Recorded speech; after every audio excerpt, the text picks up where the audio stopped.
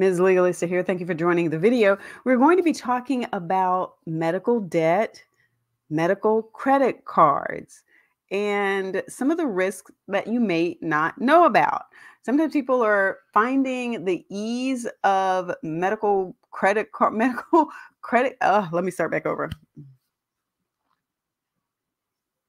Ms. Legalista here. Welcome to the video. We're going to be talking about credit cards that are used for medical services, procedures, dental services that you may need, and how you can now put that on a medical credit card. Well, some people don't exactly understand some of the risks that may be involved with this. It's kind of new, but it's definitely expanding. So let's hear a little bit more about this and some of the red flags that you may want to watch out for, including this whole idea of balloon interest, deferred interest payments. Healthcare costs are rising, and the result is more people are going into debt to pay for care. Americans owe in the neighborhood of $220 billion in medical debt, and the government has proposed rules to prevent medical debt from hurting your credit score. However, that does not include medical credit card debt, something more people are finding themselves falling into. It's one reason consumer advocates warn that patients should think twice before signing on that particular dotted line. Senior, senior consumer investigative correspondent Anna Werner is here with what you need to know about all this. Anna, good morning to you. Yeah, good morning, Tony. You know, these medical credit cards have been increasing in popularity as a way for patients to pay for medical expenses like hearing, vision, dentistry, even hospital services. But consumer advocates say some of those cards could end up hurting your credit score or leaving you in deeper debt. I applied and put the exact amount of what my procedure cost. Mary Imanina was so concerned about her experience with a medical credit card, she highlighted it on TikTok.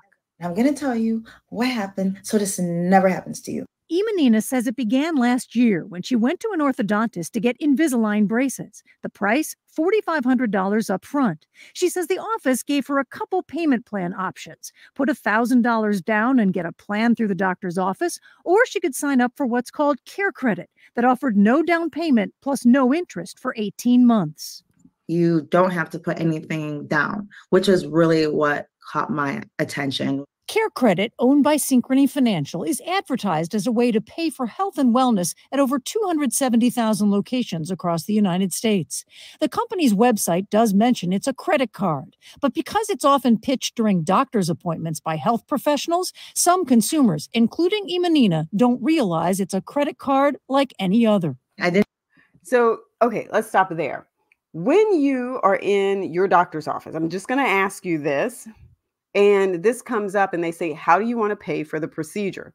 Been there before, needed a surgery. It's like, How do you plan to pay for this? Well, here's my medical uh, insurance, here's my health insurance card. Typically, there may be some things that aren't covered. So you figure out how you're going to pay for that. Sometimes you got to pay for this stuff up front. In this case, $4,500 for her in, Invisalign or invisible braces and she's trying to figure out what the payment options are. Now, if you're sitting there then in the office and they tell you, hey, there are a couple of things that you can do, we have a couple of options for you to consider. One, of course, you, is you can just pay them outright. Another is we can set up a payment plan here through our office, and this is what that plan looks like. And then here we have this other option where you can go with something called Care Credit. They handle all of the financing and payments for you. Are you at that moment in time going to pull out your phone and say, Well, let me go to the website, let me read about this company, let me pull up the fine print, make sure I understand what exactly this is? I don't know. I mean, I don't know. I'm sure there are plenty of people who are going to want to come back and figure out whether or not that's something that they want to do. And there are some people who are going to want to pull that up. But some people may not and may not realize that this is a regular credit card, which comes with some other things that you need to think about. Listen to what she says. Didn't really know that it was an actual credit card. I thought for some reason it would come out uh, on my credit report as like a loan of some sort. After making her first payment, Imanina says she checked her credit report and was surprised to see it dropped my credit score 50 points. She says the card appeared on her report as a nearly maxed out credit card, hurting her score. Well, that's because she got it for medical service. So think about the difference there in terms of usage. When you're getting just a regular credit card, maybe you have it for emergency purposes. Maybe you have it for vacation so that you can put those things on the card in case something happens and you need to dispute it. And so it's sort of this backup. You don't have it maxed out, but maybe it's at 10 or 15 or 20%. But with a medical credit card, the whole reason for you to get it is to be able to get that full amount to pay the party who is providing you the service. The negative aspect of that, the consequence that happens as a result is it hits you as a negative because it looks like now that you've got this maxed out credit card. And you do because you got it only for the amount of services that you need. You're not going to necessarily say, Yes, I want to get a, a, medical credit card for $20,000 when I only need four or $5,000, just so that it will not impact my score in a negative way. No, I don't think a lot of people are thinking it through that way, not realizing that it's going to hit your credit report in a negative way because it's going to look like you've maxed out that card and it's going to change your ratio there. Not only that, but she says she realized the proposed payment schedule set up by Care Credit wouldn't cover her total costs in the 18 month promotional period. Now, again, this comes back to us being vigilant, us being the ones to say and recognize that this is for them. This is Synchrony Bank. This is whatever bank that's financing this, that's providing this. They are not setting this up out of the goodness of their hearts. We know that we have to pay interest when we borrow money like this. The trick, though, is the number that you give me, you know, what is that number that you're giving me? Is it the number that's going to match the 18 month period? Or is it in there someplace else in some fine print that says, hey, in order for you to actually pay it off in 18 months, here's the amount that you need to pay. Now, I don't know. I'm just bringing this up as something for you to think about if this is something that you want to do. When you get the paperwork and you look at it, is that paperwork clear to you about what your payment's going to be or going to need to be in order for you to pay it off in 18 months and not have to then get this whole interest tacked back on because you didn't pay it off in the 18 months. Meaning she'd eventually owe interest as well. If I was paying the only the minimum payment, the interest would have applied to my account. An interest rate of 32.99%. The payment they initially gave you that they automatically calculated was not enough to keep you in the interest free zone? Okay, so again, this shouldn't sound real new to us, right? Because we've seen this with regular credit cards to the extent that they say, hey, we'll give you this free promotional period. And during this period, if you pay it all off, then you don't have to pay that interest.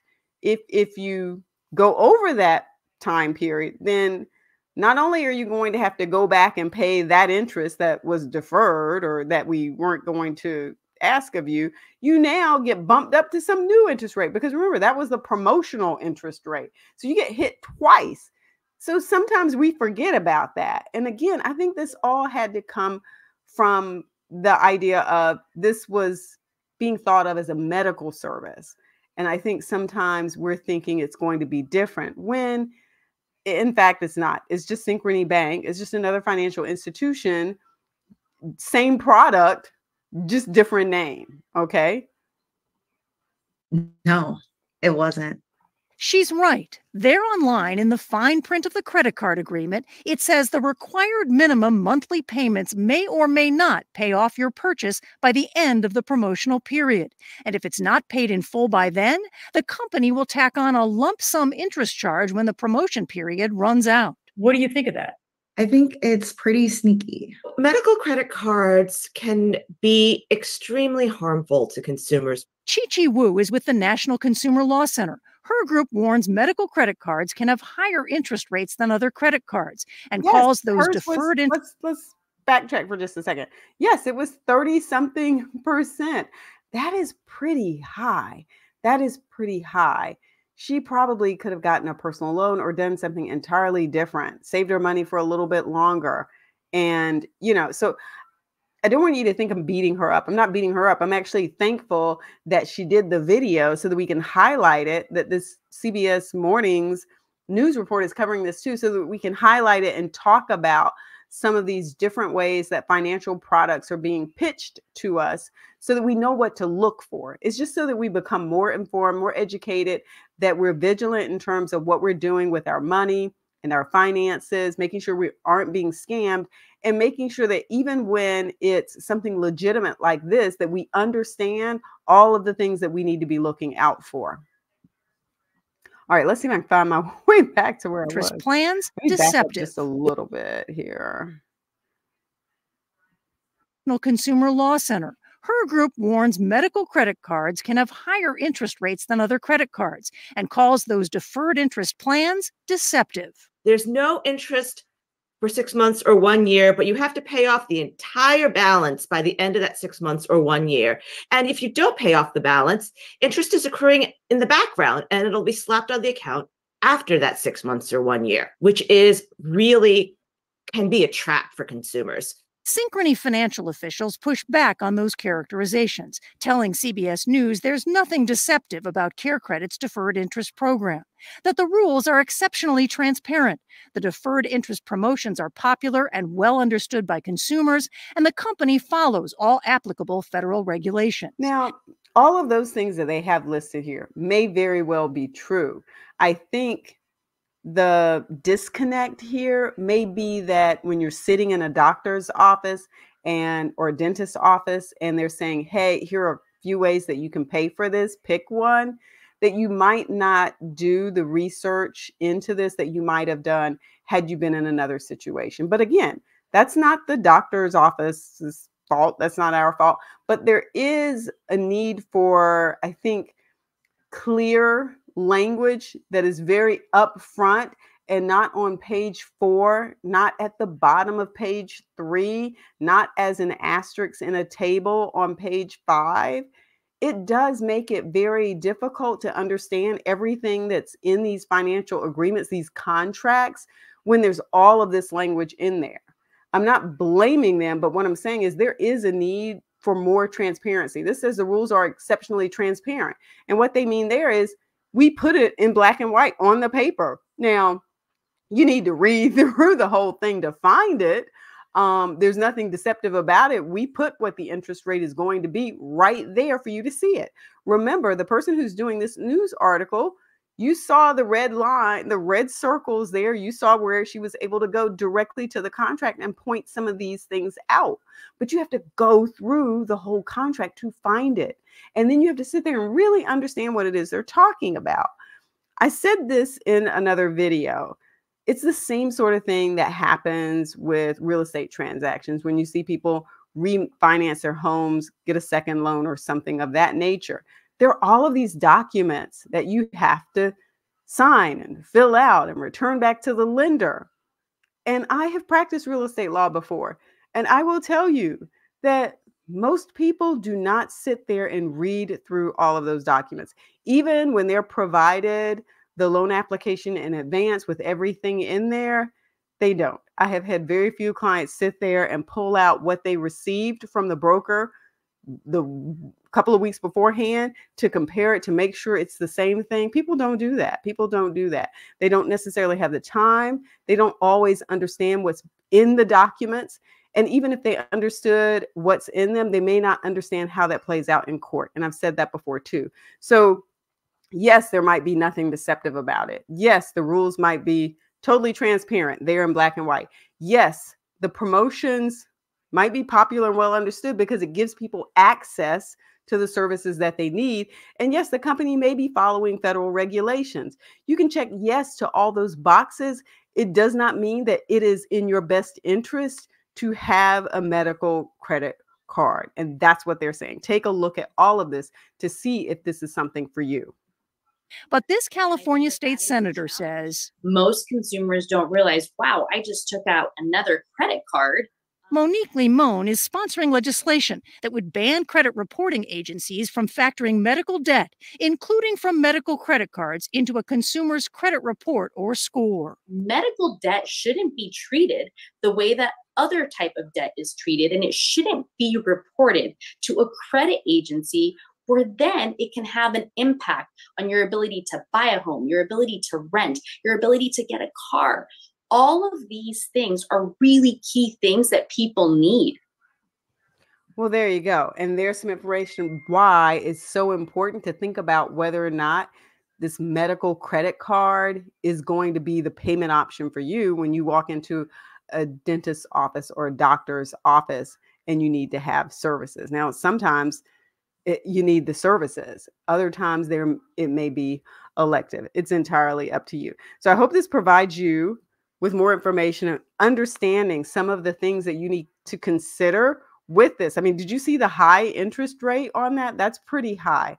That is pretty high. So hopefully she was able to pay that off before she got into the situation where the interest rate came back into play. But thank her for sharing that with us and pointing some of that information out that gives us a chance to sort of think about this and again understand do I want to go down this road or not? Do I want to have other choices with this? Because I'm concerned now that it may impact my credit score. Well, we'll see how this goes um, on the government side and whether or not the government is going to be able to say, hey, we're going to put a stop to that being on your credit report. Because if it's medical debt, maybe it shouldn't be. Don't forget to give the video a thumbs up if you learned a few things about medical credit card debt and interest rates and all of that. And don't forget to subscribe. Mm, all right, peace.